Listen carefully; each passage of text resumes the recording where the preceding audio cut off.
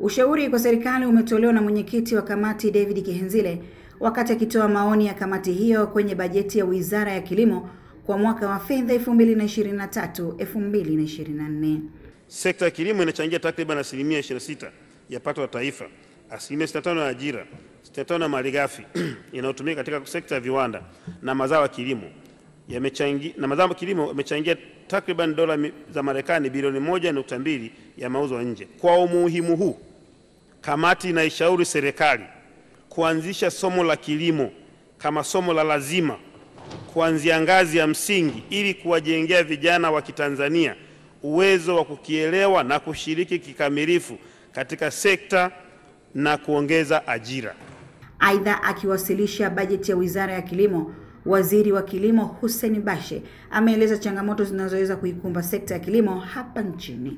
Kihatarishi namba moja kwa taifa letu itakuwa ni mabadiliko ya tabia nchi ambayo yanasababisha kupungua kwa uzalishaji wa chakula na hivyo kuhatarisha uimara wa uchumi wetu na usalama wa taifa letu. Ili kuwa salama kwenye eneo hili, ni lazima kuendelea kuwekeza katika mifumo imara himilivu ya kilimo inayotumia teknolojia za umwagiliaji za kisasa. Kisha Waziri Bashe akabainisha baadhi ya vipaumbele vya wizara hiyo kwa mwaka wa fedha 2023-2024.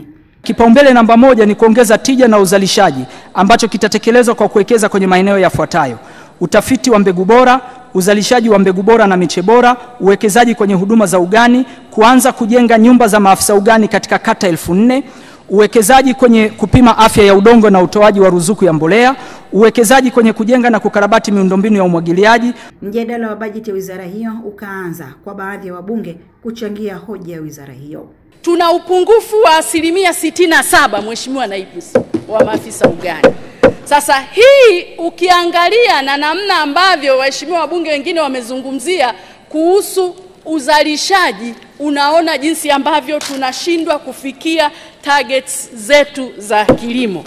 Kwa mwaka 21 22 Uganda waliuza kahawa ya dola milioni 862. Ndio maana nasema urudie mkakati wako. Mkakati wako unazungumza quantity au uzungumzia amount of money. Ukiusoma unazungumzia quantity. Hatuhitaji idadi, tunahitaji pesa tunazopata. Wizara ya Kilimo imeliomba bunge kuidhinisha zaidi ya shilingi bilioni 970 ili kutekeleza miradi ya maendeleo na matumizi ya kawaida kwa mwaka wa fedha 2023 2024. Kutoka bungeni jijini Dodoma, Joyce Ngerangera, Star TV.